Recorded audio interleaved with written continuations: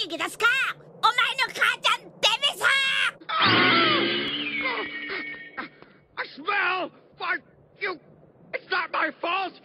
I've been cooped up in a space pod for a year. What do you expect?